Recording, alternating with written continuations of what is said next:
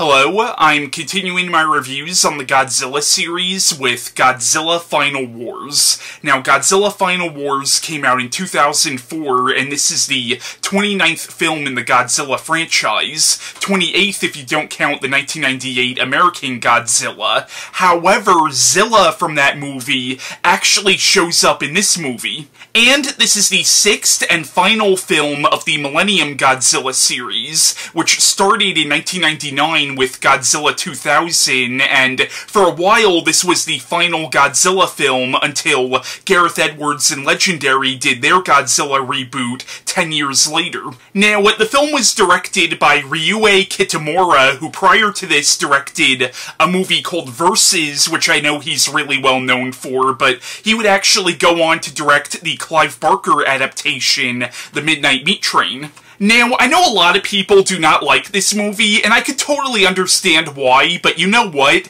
I fucking love Godzilla Final Wars. I love it simply because of how unapologetically batshit insane the movie is. Like, this is probably the most insane film in the franchise, and that's even taking movies like Godzilla vs. Hedorah into account. Like, the film is not even remotely meant to be taken seriously. This is very much a love letter to the Showa Godzilla series, but particularly the late 60s and early 70s Godzilla films films, which was really where the franchise was at its goofiest. And because this movie is so batshit crazy, this is my second favorite of the Millennium series. My first favorite, of course, being GMK. Now, the movie is essentially a loose remake of Destroy All Monsters, but the film also takes inspiration from a lot of American films like The Matrix and Independence Day. And even X-Men to a certain extent. Now, it's worth noting that 2004, when this movie came out, was the 50th anniversary of the original Godzilla,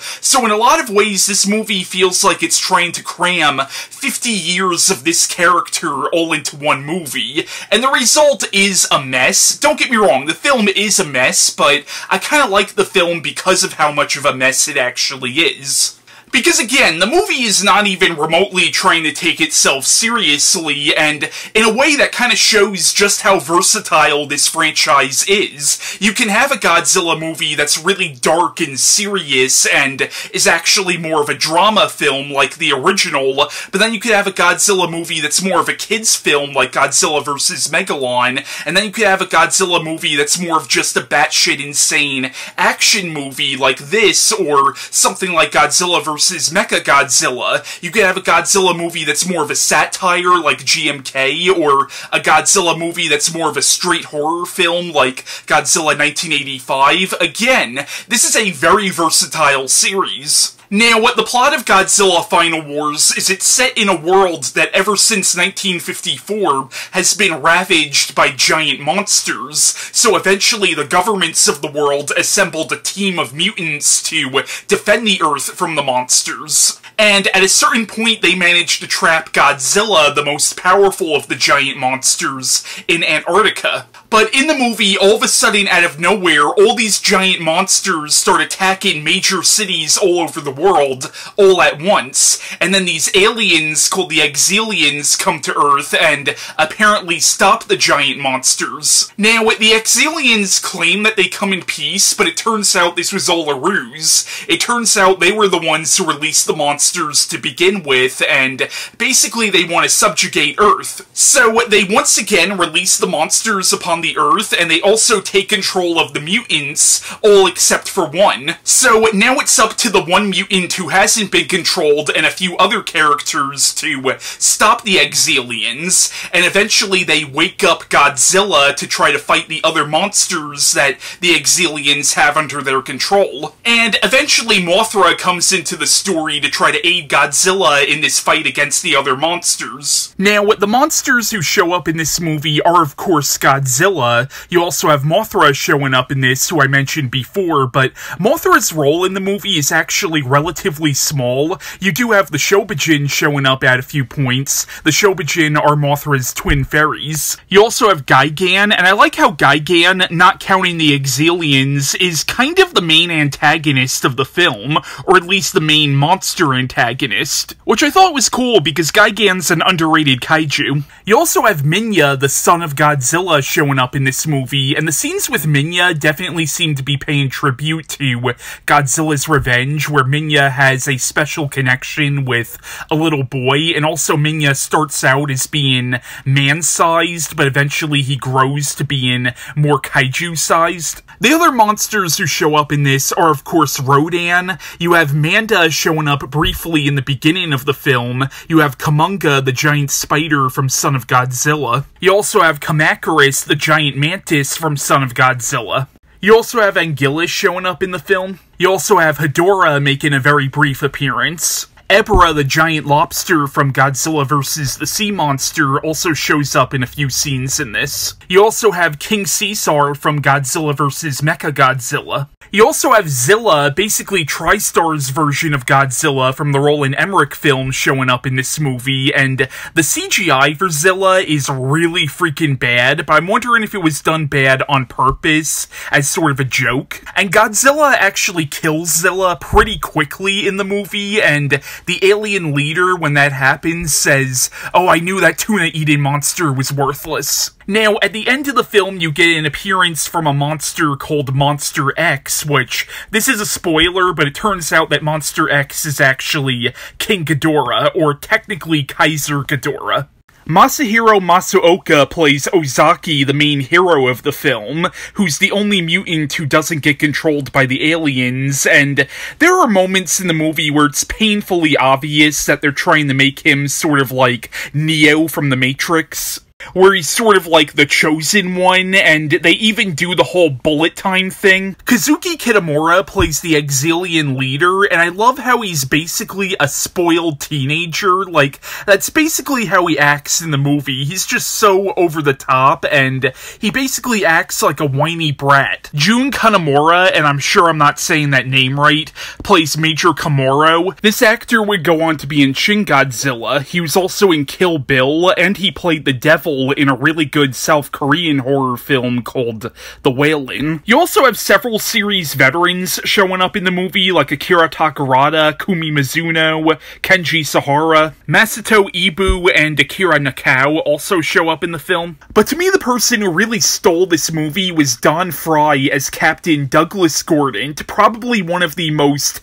badass and hilarious characters in the entire Godzilla franchise.